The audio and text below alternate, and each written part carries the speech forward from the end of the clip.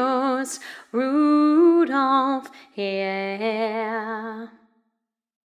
One happy birthday dot com.